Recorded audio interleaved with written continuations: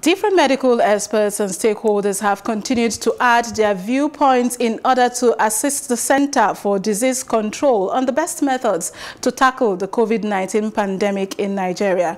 The trajectory of this pandemic in different nations offer lessons for Nigeria in a way that allows it to come up with its solution.